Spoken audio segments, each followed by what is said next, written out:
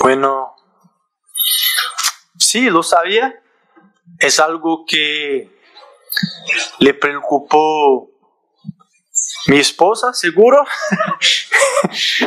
eh, ha hablado conmigo, pero me pareció y, y lo que he visto es que ha tenido momentos malos anteriormente, pero que en este momento no es todavía lo que fui, sí.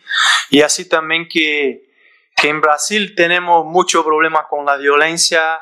Eh, yo soy nacido a San Pablo, que es una ciudad también eh, peligrosa por, por algunos temas. Yo he vivido mucho tiempo en Río de Janeiro, así que, que pienso que no es un tema particular de Juárez, es un tema de toda Sudamérica, ¿no?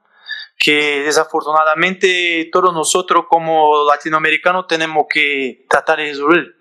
Y solo vamos a hacer con, con valores, con educación, con mucho trabajo. Y no digo por nosotros ahora en esta sala, sí por los, los políticos que sí que pueden hacer y que deben hacer siempre para, para mejorar lo que, lo que está, ¿sí?